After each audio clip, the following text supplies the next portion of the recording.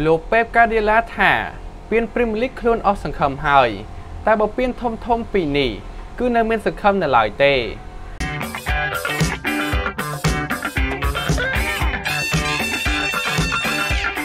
លោកពេបកាឌីឡាក៏បានបញ្ជាក់នៅក្រោយបិទការប្រកួត FA Cup ដែលយកឈ្នះទៅលើក្រុម Sheffield Wednesday កាលពីយប់មិញដោយថាពានរង្វាន់ Premier League សម្រាប់លីកនៅលើកនេះគឺខ្លួនអស់សង្ឃឹមហើយ បច្ចុប្បន្ន Manchester City គឺបានចាញ់គម្លាតពិន្ទុបាត់ធៀបជាមួយនឹងក្រុមហង្សក្រហម Liverpool ចំនួន22ពិន្ទុហើយប្រកួតដែលនៅសេសសល់មិនបញ្ចប់រដូវកាលនៅសល់ត្រឹមតែ11ជុំទៀតតែប៉ុណ្ណោះលោក Pep Guardiola លោក Pep Guardiola ក៏មានប្រសាសន៍យ៉ាងខ្លីនៅក្រោយចប់ការប្រកួតកាលពីយប់មិញថា Premier League គឺយើងមិនអាចឈ្នះនោះទេប៉ុន្តែពួនរង្វាន់ FA Cup ឬក៏ Champions League នោះគឺយើងនៅមានសង្ឃឹមនៅឡើយ គួររំលឹកផងដែរថា FA Cup នៅជុំទី8ចុងក្រោយនឹងធ្វើឡើងនៅថ្ងៃទី21ខែមីនាខាងមុខស្របពេលដែលនៅ UEFA Champions League ក៏ MQ បាននាំមុខនៅឱកាសយកឈ្នះទៅលើ2ទល់នឹង1ទៅលើក្រុមម្ចាស់ផ្ទះ Real Madrid កន្លងទៅផងដែរ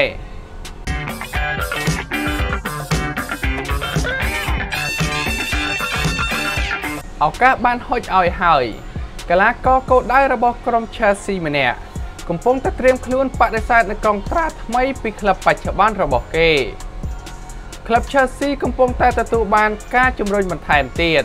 បន្ទាប់ពីគោលកីឡាករគោលដៅធំរបស់ពួកគេ គឺកីឡាករ Alex បានបដិសេធនៅសំណើកងត្រាថ្មីពីក្លឹបប៉ូទុយហ្គាល់ FC Porto គួរបញ្ជាក់ផងដែរថាក្រុមតោខៀវ Chelsea កំពុងតែស្ថិតនៅក្នុងទីផ្សារដោះដូរដើម្បីចុះហត្ថលេខាទៅលើកីឡាករណាម្នាក់ ដែលពួកគេត្រូវបានគេរំពឹងថានឹងមានការចាក់ចេញយ៉ាងហោចណាស់មួយនៅក្នុងចំណោមកីឡាករ Marco Alonso និងកីឡាករ Emerson នៅក្នុងទីផ្សារដោះដូរកីឡាករនាពេលខាងមុខនេះហើយយ៉ាងណាមិញរបាយការណ៍មួយចំនួនក៏បានលើកឡើងអំពីចំណាត់អារម្មណ៍របស់ក្លឹបតៅខៀវ Chelsea ទៅលើកីឡាកររូបនេះខណៈដែលព័ត៌មាន The Sun ក៏បានឲ្យដឹងទៀតថា ក្លឹបនៅ Premier League មួយនេះគឺនឹងទទួលបានការជំរុញដ៏ធំមួយបន្ថែមទៀតសម្រាប់ការចុះហត្ថលេខានេះនៅពេលដែលកីឡាកររូបនេះបានច្រានចោលសំណើនៅក្នុងការបន្តកងត្រាថ្មីពីក្លឹបបច្ចុប្បន្នរបស់ខ្លួនគួរបញ្ជាក់ផងដែរថាកីឡាករវ័យ27ឆ្នាំរូបនេះបានចូលរួមជាមួយនឹងក្លឹប FC Porto ចាប់តាំងពីរដូវក្តៅឆ្នាំ2016នៅពេលដែលគាត់បានផ្លាស់ចេញពីក្លឹបតូគីការ៉ាតាសារ៉ាយ នៅក្នុងតម្លៃខ្លួនត្រឹមតែ6.50លានផោនតែប៉ុណ្ណោះ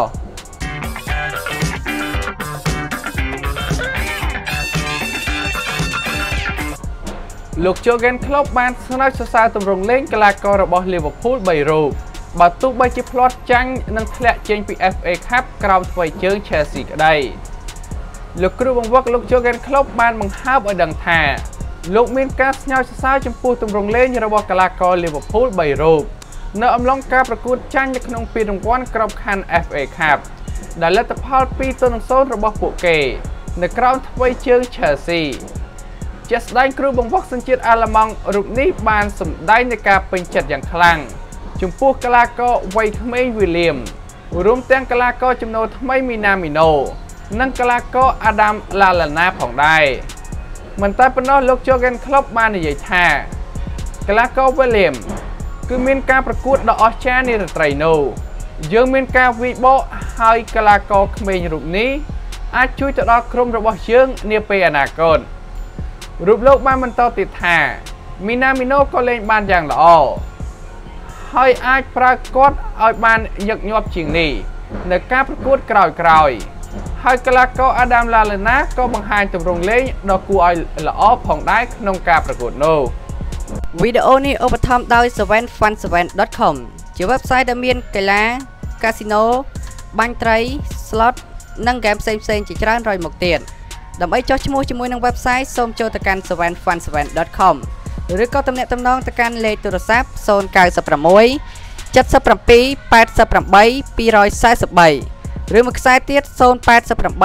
87 21និង500 2ឆ្នាំចុងក្រោយកីឡាករ5រូបនេះមានស្ថិតិគ្រាប់បាល់និងអាស៊ីសច្រើនផ្ដាច់គេនៅតំបន់អឺរ៉ុប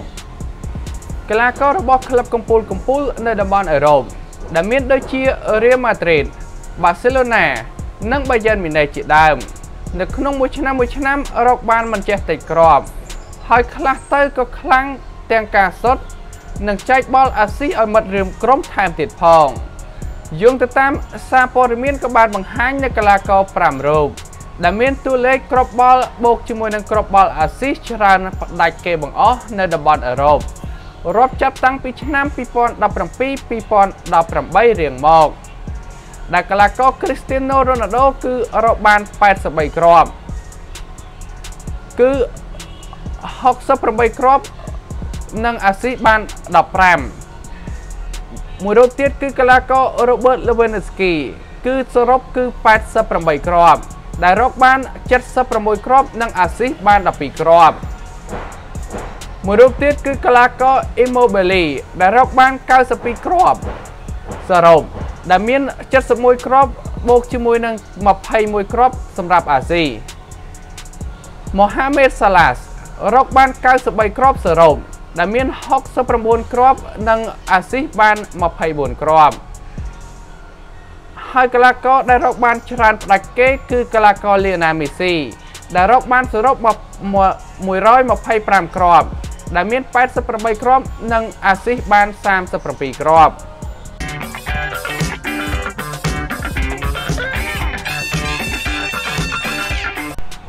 លោកអូលេកាណាសូខ្ជាមានពាក្យនិយាយអំពីរ៉ូនី មុនបើកការទៅតាំងគ្នានៅក្នុង FA Cup នៅយប់ស្អែកនេះលោកអូលេកាណាសូខ្ជាបានប្រមានថាវ៉េនរ៉ូនីនឹងចេញមុខដើម្បីបង្ហាញថាខ្ចីកាន់តែចាស់កាន់តែហឹលនៅពេលដែលក្រុម Derby Country គឺត្រូវបើកទ្វារកាឡាដ្ឋានរបស់ខ្លួន ដើម្បីទទួលស្វាគមន៍ក្រុមភ្ញៀវ Manchester United ក្នុងជំនួប FA Cup នារាត្រីថ្ងៃស្អែកនេះ អតីតខ្សែប្រយុទ្ធដែលរកបានគ្រាប់បាល់សម្រាប់ក្រុមបិសាចក្រហម253គ្រាប់និងត្រូវប៉ះអតីតក្រុមរបស់ខ្លួនជាលើកទី3ចាប់តាំងពីចាក់ចេញពីទឹកដីអូត្រាហ្វតកាលពីខែកក្កដាក្នុងឆ្នាំ2017ហើយបច្ចុប្បន្នបុរសដែលមានវ័យ34ឆ្នាំរូបនេះកំពុងតែលេងនៅលីកលំដាប់ទី2របស់អង់គ្លេសជាមួយនឹង Derby County ហើយលោក Ole Gunnar Solskjaer បានលើកឡើងថា Wayne Rooney គឺនឹងធ្វើឲ្យ Manchester United មានការលំបាកលោកគ្រូបង្វឹកក្រុមបិសាចក្រហមបាននិយាយថា គេគឺជាសម្ពាធនៅខាងក្នុង និងជំរុញនៅក្នុងជុំវិញប្រអប់ និងកំណត់នៃការលេង គេចង់បង្ហាញថា នៅតែមានការប្រកួតប្រជែងសម្រាប់កីឡាករដែលមានវ័យចំណាស់យើងត្រូវមានការគ្រប់គ្រងដោយខ្លួនឯងគឺមិនឲ្យគេមានចន្លោះនៅក្បែរនៅនៅក្នុងប្រអប់ ឬនៅក្នុង តំបន់បំរើនោះទេ នៅពេលដែលគេលេងនៅតំបន់កណ្ដាលអ្នកអាចមើលឃើញថា គេអាចនឹងបញ្ជូនបាល់ច្បាស់ដូចជានឹងកីឡាករ Snadalis អញ្ចឹងដែរ